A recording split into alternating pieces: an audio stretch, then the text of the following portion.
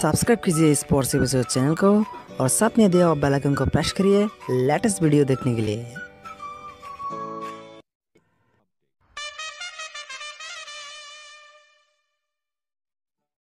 Sports episode channel में आप लोगों को बहुत स्वागत है। मैं हूँ चैनल को चलिए शुरुआत करते हैं आज कल लेटेस्ट क्रिकेट का न्यूज़ के लिए। टीम इंडिया का मशहूर बल्लेबाज युवराज सिंह ने एक घरेलू मैचों में जो डोमेस्टिक क्रिकेट चल रहा था। डी वाई पाटिल मैच में उस मैच पर उन्होंने शानदार प्रदर्शन किया है। उन्होंने सिर्फ़ सत्तावन गेंदों को सामना किया और उन्होंने अस्सी रन बनाया है और उसके खाते पर चार छक्के भी लगाया है।